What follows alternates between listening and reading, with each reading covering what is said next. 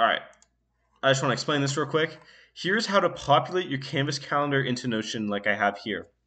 So what you're going to do first is you're going to go over to your, your Canvas calendar. For example, you're going to find your Canvas calendar. You're going to click on calendar feed. Click to open calendar feed. It's going to give you a file download. It's going to be an ICS format. You're going to download that file. Your next step is go over to a convert ICS to CSV. On this one, you can pick which one, which fields you want. This right here is going to be your due date. This right here is the date it was assigned, and this one right here is your title. The next step is go into a CSV viewer. You're going to open that CSV that you just converted in this viewer, and you're going to, here, I'll show. Next step is you open this file, you change these values to the ones that are inside of your table. For example, you can see I wrote due date exactly like this with the capital due because in my Notion table, I've written this property with that capital due. So if you want, wherever you want this to populate, you're going to write it exactly the same. So I want this to populate in date assigned, and I want this to be the title. So next I'm going to download this CSV. I'm going to take it back over here. I'm going to open my table right here.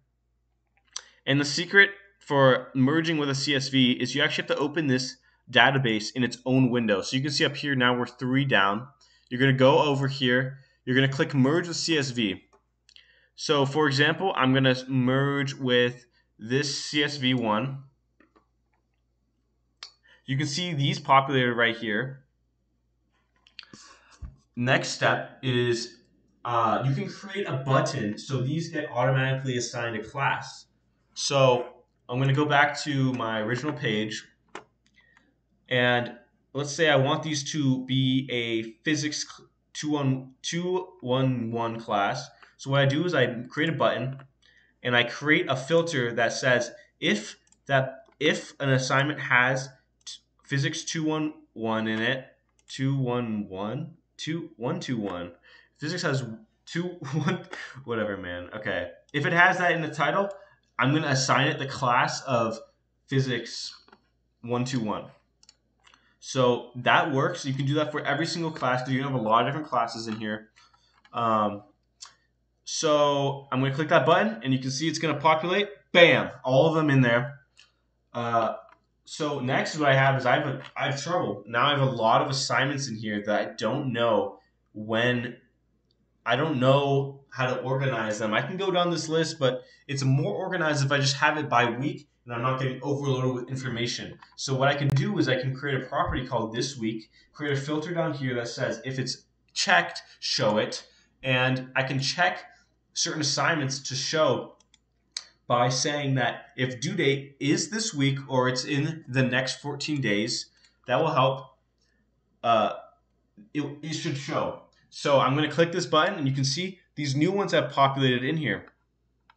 So I can see it's when they're due and I can check if I've started them, if I'm in progress, if I'm done, but I want to be pinned still in this in this uh, this page so I can see it easily.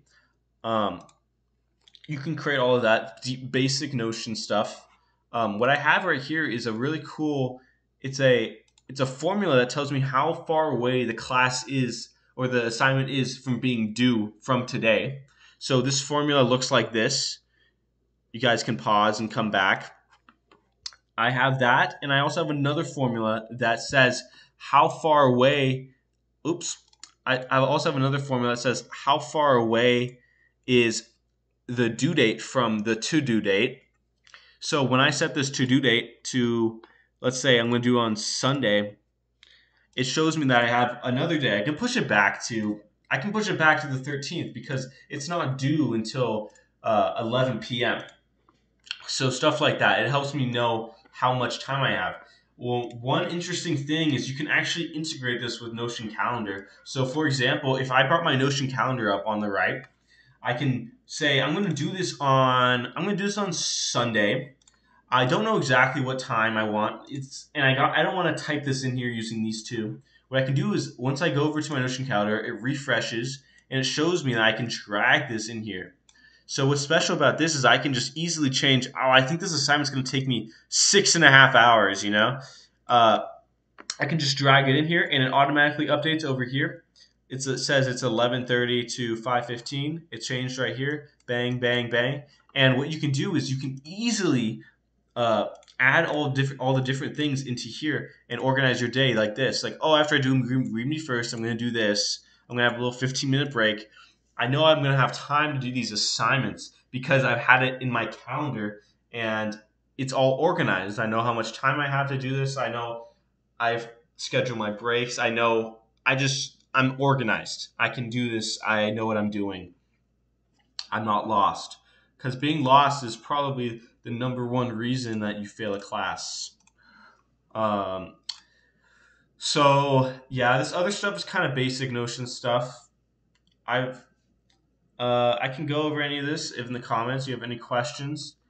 So you can create different filters like for this month if if um, if the due date is in the next 30 days or 31 days for example it's going to show up in there and then you have a table view that just has everything if, in case you need to do some tinkering in there or do something like that all these all these assignments are in there so the only downside to this is that it doesn't update if your teacher changes a due date or something like that. So, what's a good method is you should be looking at your Canvas calendar or at least enable notifications for due dates that have changed. Also, this only populates for assignments and not for to do things. So, for example, if I were to go over to my if I were go, to go over here, these would not populate in there because they're not actually assignments. They are just to-dos. There's nothing to submit here, even though perhaps you need to view it. So you do need to stay on top of your Canvas calendar. Um, uh, one more thing I want to mention is that you can do the reason this week is so powerful is so you can go into your table and let's say all these math assignments are due on the same day, but that's all next week. I don't want I'm not going to do all of them in the same week. I want to spread that out. For example, so I could add this January 30th, or let's say this January 30th assignment, I can click on this week, and now when I go back to this week, it's right there, and I can, it's on my bulletin board, so to say. Um, so it's helpful for saying staying in the loop and organized. So just as easily when I click on this page, it disappears. The way to get these to show up is you go into your Notion file over here and you add a Notion database.